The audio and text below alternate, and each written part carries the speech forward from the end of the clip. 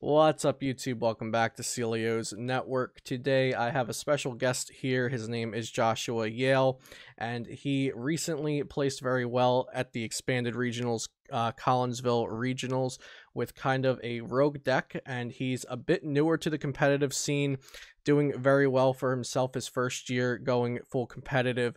So, I wanted to have him on, pick his brain about this deck, hear about his tournament run a little bit and uh, we'll also be looking at the deck list. Before we get into that, shout out to PotownStore.com, my sponsor and the best place to get PTCGO codes. Of course, use code CELIO over there for 5% off, and FlipsideGaming.com, where I write free articles.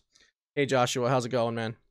Good, good. Um, I'm a huge fan of you and your channel, so thank you so much for having me on. It's surreal to, to, have gotten the message of like, "Hey, I want you on the show." I was like, "Wait, what? Me? Are you sure it's me?" So this is awesome. Awesome, awesome. That's great to hear.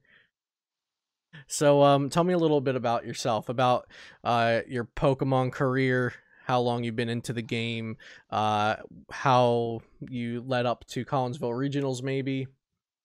Um, I feel like my story is the same as a lot of people, where like I was into Pokemon a lot when I was a kid. I collected the cards, but never actually played the game. Um, and then I kind of moved on from Pokemon. When I was a teenager, I got into competitive Yu-Gi-Oh, but I kind of left that behind.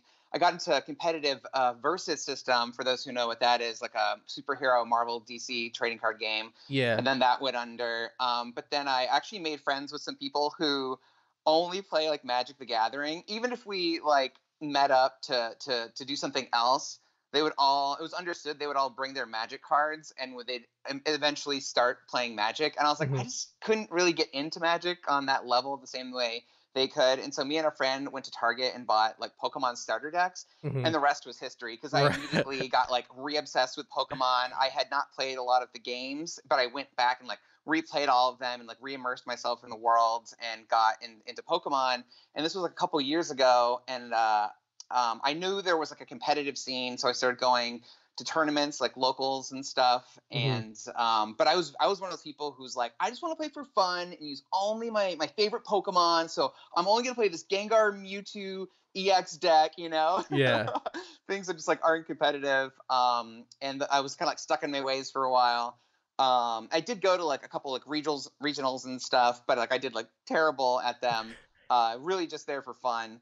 And uh, but then you know uh, one of my locals, his name's Aaron Walker, last year got his invite, and I was like just so uh, you know inspired by watching him do it that I was like, you know what, I've beaten him, you know, a couple times here and there. Like, I, I, if he if he can get an invite, so can I. You know, I mean, there were other reasons I wanted to do it, but that was you know kind of a, a, a something that sparked you know the my desire to get into competitive. Yeah um, for sure seeing so, somebody near you do it making you think well maybe that could be me. Maybe i can be the next one. Yeah yeah. So then this year i just before i the season got started i talked to pretty much everyone i know who has gotten an invite before just to get some pointers and different advice on what i should do to not make you know rookie mistakes. And so then i applied all of that and have been grinding for like seven months. Um, and it's all, you know, come together, come to fruition. I got my invite and I got my best uh, career placement, 10th place at Collinsville uh, Regionals, playing God Blowns of all decks. yeah. So God Blowns, ADP Blowns, um, definitely one of the lesser known archetypes in expanded. Even after it placed in Dallas, there were still people that didn't really know about it. Um, so what got you onto this deck for expanded? Well, I actually encountered the deck for the first time when I played in the Dallas Cup on day two. Well, you know, mm-hmm. I, I, bombed out of the, the main event on day one playing Pikarom. Okay. Um, and uh, I was playing Toad Tina and ended up beating it.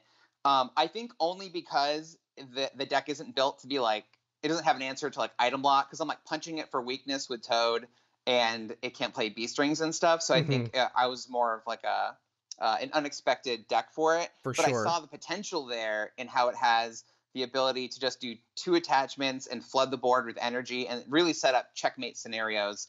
Um, again, again, it didn't work against me, but I saw the power there. Um, and I looked at the the list afterwards, and it kind of just stayed in my mind. And so then, when, when preparing for um, Collinsville, I was testing with a couple people um, one person, uh, Kenny Britton and uh, Oscar Morales. I don't know if you know them at all. I'm sure some people at home do. Yeah. Um, but they were throwing around a couple decks, and one of them was ADP Blowns. And uh, earlier in the season, I got super into Blowns in Standard and was super comfortable with that deck and really liked it. Mhm. And so I thought, you know, hey, we're just adding ADP and making it way, way faster. yeah. Sounds good. And so, of all the decks I tested, that was sort of my favorite one. And even just going on the ladder and trying a few games, I was like destroying the competition, won tons of games. I was like, what is it about this deck that is just so good? And I think it's it's yeah, it's just if you do get those, you know, first two attachments and start flooding energy on the board, um, it you're, it's like it's it's really really hard, especially if if they don't play ranger for them to recover. It just Yeah. becomes an inevitable again like checkmate scenario within just a couple turns. Yeah, yeah, you really outspeed your opponent. It seems. Um, it's not a deck I've dabbled much with, or I I didn't come across it in Dallas at all, um, myself. But it definitely looks like it's very speedy, kind of like ADP Zacian is in standard for the standard format. But uh, this kind of floods energy onto the board in a different way with the Beast Rings. Um, and uh, like you mentioned, Ranger can be a threat, and I definitely think Ranger was much more prevalent in Dallas than it was this past weekend in Collinsville. I think people had other worries on their mind than Ranger this past weekend, so it seems like a good idea and a good time to bring out the ADP this past weekend. Yeah, well, a fair amount of decks did run Ranger, but the funny thing about Ranger is it doesn't do anything, right? And so it's hard for them to, ta- to to find a free turn to play it. So it, I've uh, saw one guy, you know, discard it with a battle compressor, and I and I had just altered creation the previous turn. I thought, oh, here we go, he's going to play it. But he couldn't afford to waste a turn playing Ranger. He needed to play a draw supporter, I right? see. So then I took the the extra prizes that turn with my attack, and I think eventually he did play it, but it was too late, you know. right? So yeah, uh, Ranger needs to be uh, it, it's it's it needs to be especially timed and played at the right time. Otherwise, it's essentially like a dead card in their deck. And in the deck, Yeah. uh, you know, Godbound puts on so much pressure so early that it's hard for them to find that Ranger turn. Got it. Yeah, that makes a lot of sense. Yeah, I feel like uh, I was talking to someone about this the other day. Um, that Ranger, I feel like was good in past formats when it was uh, necessary for certain to counter certain things. Um, if Zoroark GX decks were popular, um, anything with like a turbo draw engine. Um, maybe something with Cinccino nowadays, uh, because you can play Ranger and also draw cards where if you toss it into a random deck like uh let's say turbo dark um if you play ranger that's probably all you're doing for that turn. Maybe you're Shaymin set up for a couple cards as well but you're not also you're not drawing an absurd amount of cards in addition to your ranger. Mhm, uh, so it mhm. definitely makes a lot of sense Yeah, and Um, I'll say that the decks that always want to run Ranger are usually single prize decks. Not always the case, but they're the ones who especially want it. hmm And um, a lot of them don't run away to search supporters, right? They don't play Lele. They don't want a two prize around the board. yeah So it just becomes sometimes they just can't even find it, even though it is in the deck. Yeah, like Ultra Necrozma, because they need they want to play Rangers in case they get Chaos wheeled out of Special Energy, um, and that's why it's usually single prizers because they use Special Energy. They don't want to get locked out of their only kind of energy, and uh, yeah, but like you said, they don't have a lot of consistent ways to search it, and they need to play draw supporters too, like you said. um, so let's talk about the list. Um, one thing that definitely catches my eye is this Heatran. Uh Heatran with Lava Burn and Heat Bazooka. Um so it it seems pretty good after it's in the deck, but if it wasn't here, I wouldn't notice it was missing kind of thing. like you know what I mean? yeah. Um how how good was Heatran? it was the like secret MVP of the deck because most people don't know what it is. Um, I actually did not have it in the list initially. Um, I had actually shown the list to uh, uh, Benjamin Branch, who I occasionally get coaching from, and he made it like super consistent. And then from there, I took it and decided what text to run.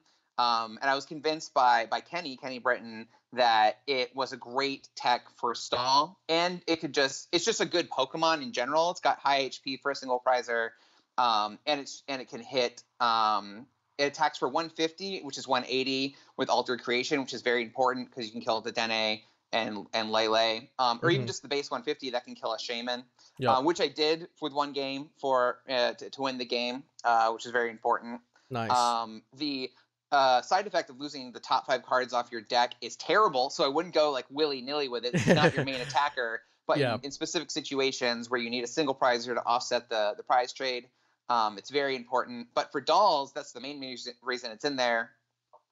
Is it has that night spear effect for a 60 to the active, 30 to the bench, Mhm. um, or 90 if again if you've used altered creation right. um, and it just eats dolls alive, right? Like dolls, like doll decks, like being really comfortable, and they like throw down. They play eight dolls, and they throw down a bunch, and then it Yeah. just buys them all these extra turns. But if you can take out two per turn, um, it Yeah, it puts cuts them them in in a really, really bad spot. Yeah. Mhm. Yeah, that's really cool. That's very cool, actually.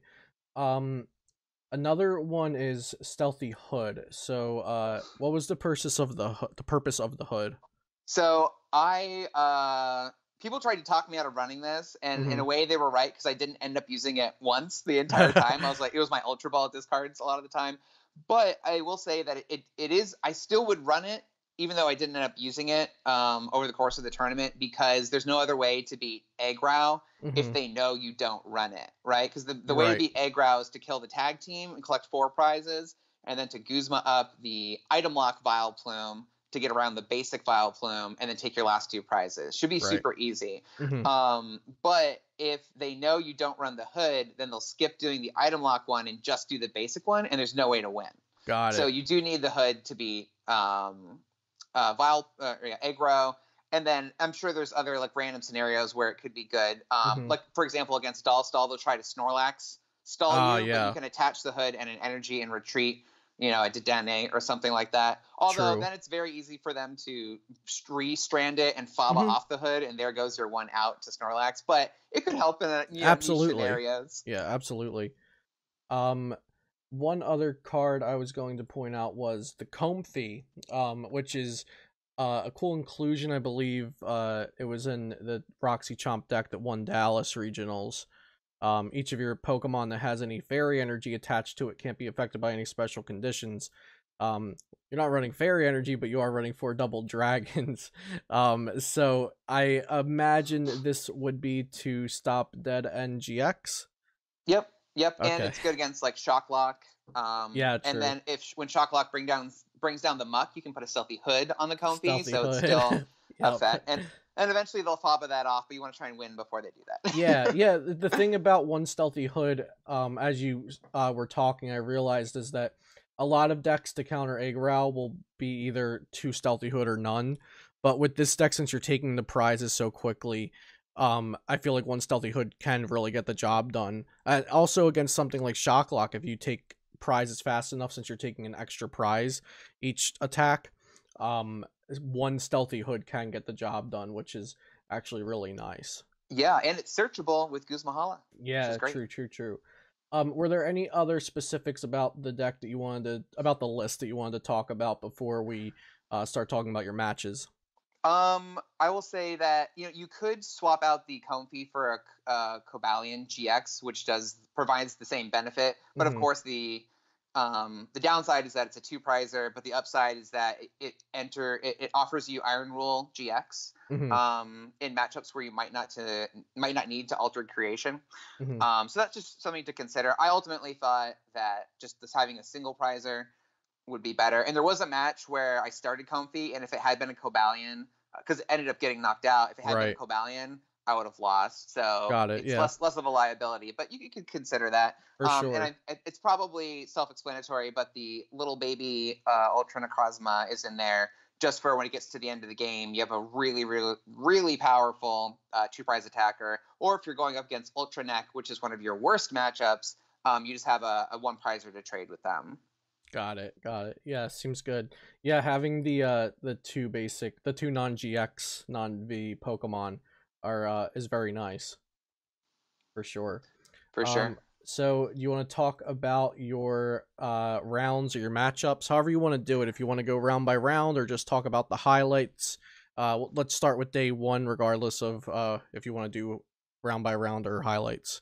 Sure. I'll just go through each round real quick, but I won't. Yeah. I'll try not to bore everyone at home. But you know, round one was against Ultraneck, and I lost, which you know, you put all this time and effort into the deck, and I'm so like high on it. Like I'm like, oh, this is such a good idea to play this deck, and then you lose in the first round. You're like, oh my god. Uh, you know, it was a real downer way to start the day. Um, but it is one of the worst matchups for the deck, obviously, just because it's a single prize deck. And like I was saying, um, they have to find Ranger, but this dude found Ranger like early on every game. I won the first game, it was win, loss, loss. Um, but then the next two, he just dominated and it was really rough. And you know, they're taking off your double dragon energy mm-hmm. when they attack and everything. So it was it was pretty ugly. It was a bad way to start the day.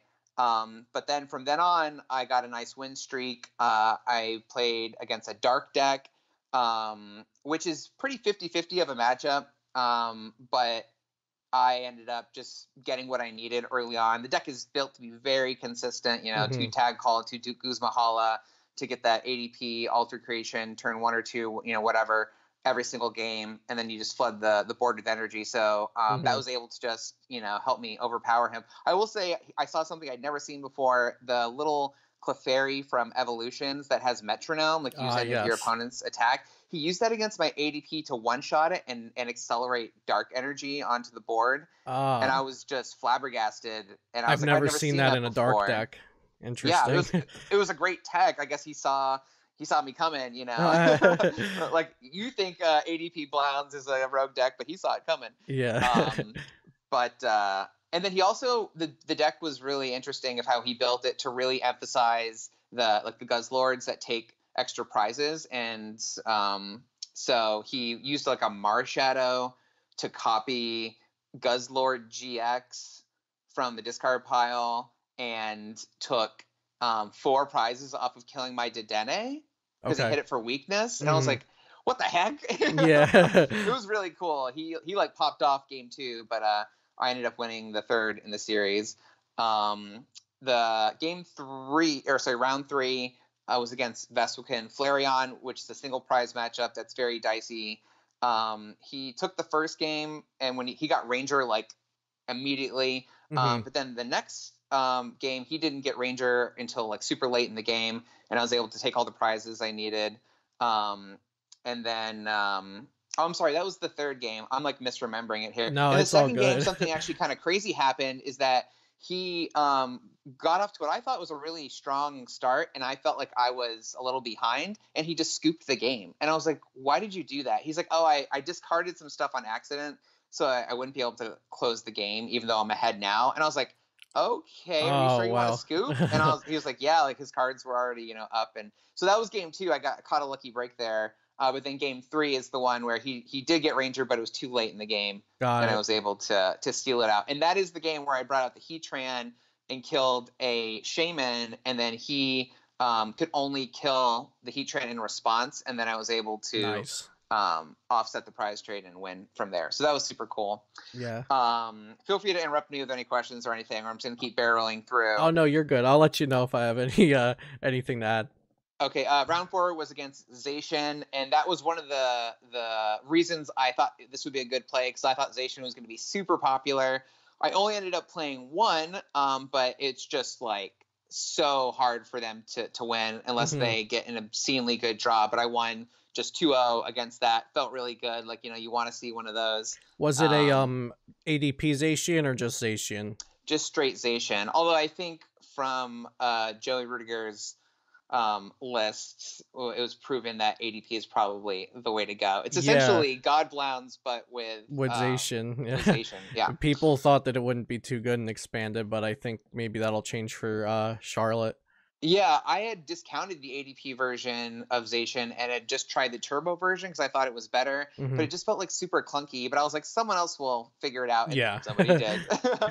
Round five was an ADP Blowns mirror, and um, no disrespect to this guy, but I think he he did not go like the uber consistent route that I did, and so he had a lot of stuff that I was unfamiliar with in the deck, and I didn't know what um, like I didn't really know what his his game plan was because there was so much extra stuff in there. So I think mine just sort of out consistencyed him, and I won that um, pretty easily. Although I did get lucky because the way to win the mirror is to um, after you altered creation, whoever takes the first prizes is gonna win. Mhm. So he went first, or, or sorry, he got to altered creation first by choosing to go second. okay. And so going in, into my turn, I um, do uh, 80, or I do the GX as well. Going into his turn, he attaches and then accelerates onto uh, the bench by hit, uh, hitting my ADP. So Mhm. going into my turn, um, I then need to take the first prizes, and the only way to do that is to Guzma up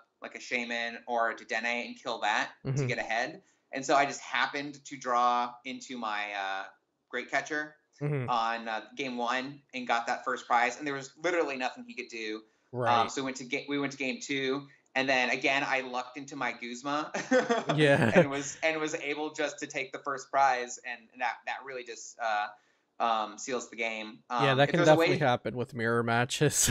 yeah. So if there's a w- other way to like win the mirror, I don't know it. That that's my advice though. If you if you do the mirror.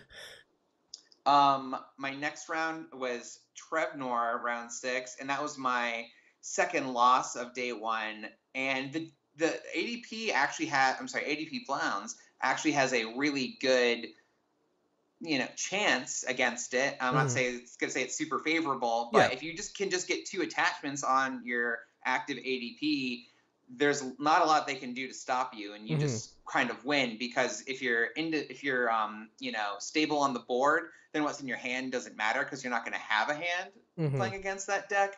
Um, and like in all my testing, I never lost to Trevenant, which is a big reason that I decided to go with Godblowns. Mhm. And so it kind of did suck that I just drew poorly and didn't get those early attachments on ADP by the time he got rid of my hand. Mhm. Um, so I couldn't really do anything about it. Um, I did win one of the games, but then the third game I started Shaymin and went first, and uh, he just donked me the next turn with Okay. Gengar. so Got it, was it. pretty, it was pretty ugly. It was pretty demoralizing that I was like, oh come on, I was supposed to beat this. Um, but but it was no big deal. Uh, hold on, let me look at my notes real quick. yeah, it's okay. Um, um, round seven was against Dollstall, and I was able to get out the an ADP altered creation. He didn't immediately ranger me, so I got to take a couple prizes. Eventually, he did ranger me, and I uh, brought out my Heatran and Mhm. accelerated onto that and um, just brought up Heatran and started eating up the dolls just like according to plan. Worked like a dream. Um, and I don't think he expected the Heatran. And so, because you know that deck comes with like an answer to everything. he Yeah. didn't have an answer to that. so it was, it. I got, you know, pretty uh, fortunate during that game. Um, and that was a really long game one that I won. And then game two, I actually started the Heatran. Like, what a dream. Oh, no. starting the tech. And we didn't finish that game, but it was kind of more of the same that I was just consistently putting energy onto that, weldering onto it, um, and not playing any other Pokemon. Like, you don't want to play anything but Mhm. the Pokemon you need because they'll, like, Snorlax strand it. So yeah. don't play, like, Dedenne or anything. Shaymin would be okay to draw some cards because you could eventually Sky Return it back into your hand Yeah. but uh, generally don't want to play anything if you don't have to. Uh, and uh, and yeah, so that just worked out in my favor. I was very happy that you know the tech worked. Yeah, he um, won you around. At least one round. Um, yeah, and then and then uh, actually it was the second because it also helped against the Vespiquen. So I was, I was like, yeah, this is Heatran. It's like putting in work. Yeah. Um, and then my uh, my next match was against um, Trevenant Break, and it's essentially an auto win because you Mhm. just do the two attachments after you've uh, you know drag double dragon, a fire, and then you've you've altered creation. Um, I don't know if they play Ranger. He didn't play Ranger or Trevenant usually doesn't. Okay, so yeah, Yeah. and he um he just couldn't do anything. I felt kind of Yeah. bad for him. It was just three knockouts after I did the GX and it was over. Yeah, it for sure seems anything with ADP seems very bad for Trevenant. Yeah, when I flipped over my ADP, he immediately said, "Hey, do you want an ID?" And I was like, Oh no. "No, no." Now that I see that, uh, what you're playing, no. Um, and then I just ID'd um, the final round to Nice. um to get into day two. Yeah, for sure. So, uh, six two one, uh, into day two with um, was it eighty?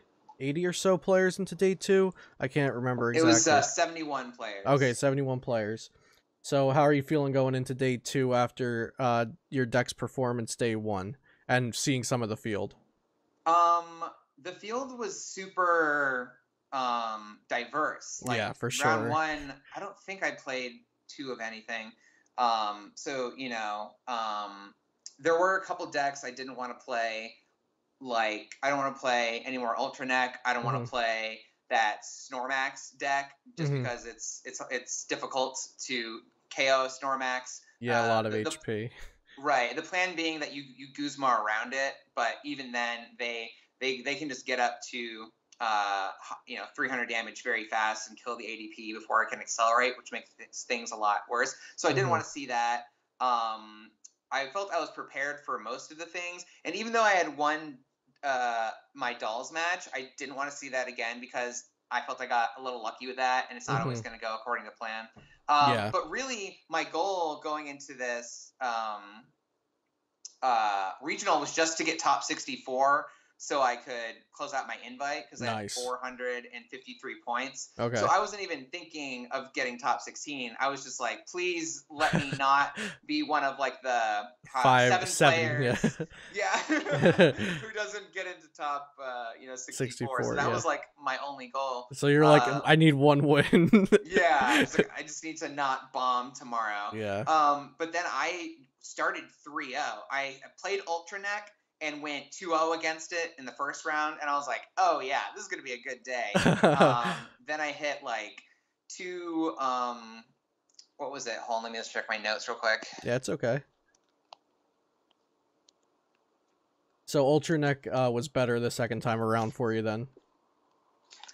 Yes, this time um, I knew that he uh, obviously had the advantage, so I was just going to try and uh, exploit the deck's weaknesses because this time he wasn't.